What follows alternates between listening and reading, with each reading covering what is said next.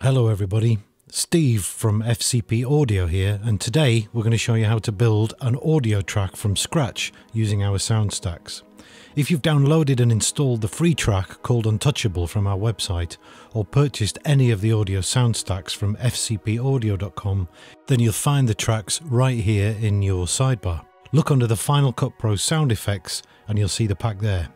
Click on that and you'll see all of your music loops and effects.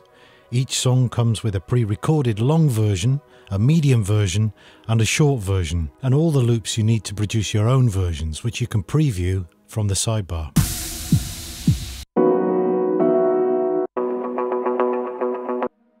So before we begin let's ensure that we have the snap tool here enabled.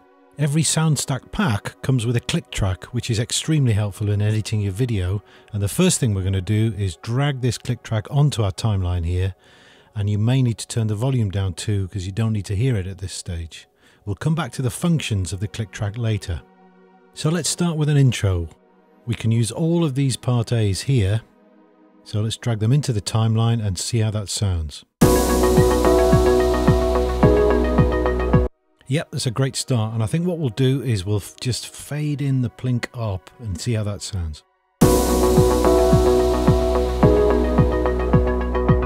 Yep, good, that's better. Now, I haven't used all of the loop A's in this example.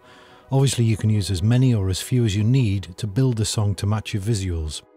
So we're now going to move on to loop B's.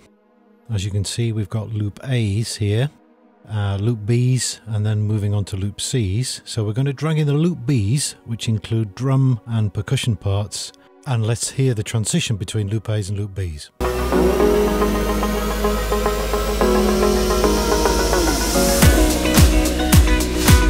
Yep, that's perfect. So what we're going to do is highlight all of the loops which we just dragged in. Command C to copy, Command V to paste. And I think we'll use lead loop B just here as an extra. Drop that in and let's have a listen to that.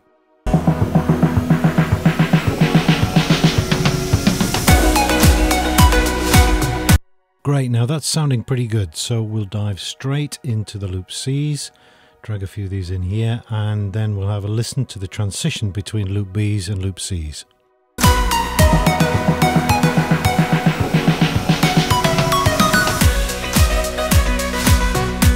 Great, now that's coming along well.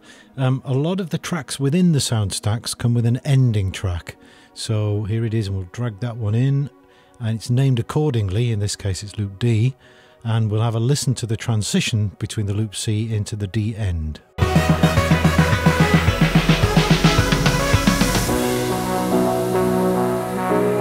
Yep, that's great. Now, as you can imagine, you could have as many loop A's or as many loop B's in a row to make any length of song and any arrangement using whichever combinations you prefer and however many loops you want to use.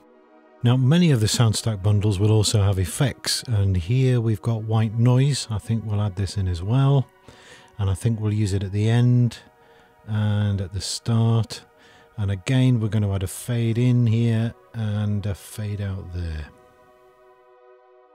And once you're happy with the arrangement of your song, we need to set its volume level. So we'll select all the clips that we've added. And as you can see from the output meters here in Final Cut Pro, as we've added layers of audio, we've eventually pushed the audio output in Final Cut into clipping. So having selected all the clips, we need to go up to the top here to the master volume and pull it down by an amount which is slightly more than the amount that's showing in the clip meter. Let's hear that now. Great, obviously you can fine tune that just as much as you need to. But now we've got all the clips highlighted, we can right click and choose new compound clip to combine all the audio into one easily managed segment. I'm going to call that main track and we now have one rendered audio track which is ready to do any other alterations to etc. For example we can fade it in, fade it out in this example or add effects or whatever we choose to do. Now let's go back to the click track that I spoke about earlier here and I'll turn it up so that we can hear it and I'll zoom in so that we can see it more clearly. Okay, so we're zoomed in now and you can see how it looks like a series of pulses in the timeline. So let's have a listen to the click track. So this is effectively the tempo of the song. To create a professional and integrated feel to our video and audio editing, if we cut our video above the markers on the click track and therefore to its tempo, we can create great transitions.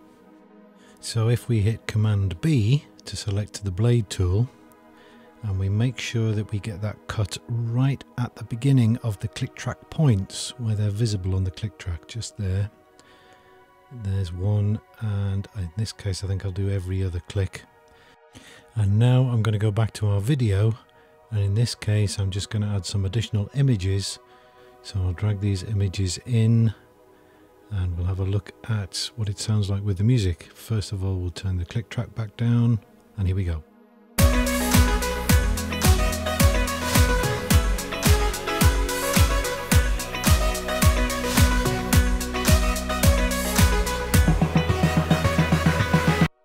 And as you can see, the cuts and transitions are perfectly in time with the music, which goes a long way towards integrating the music and the video.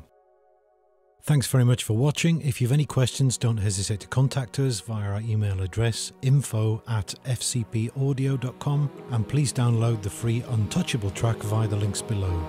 Thank you from FCP Audio.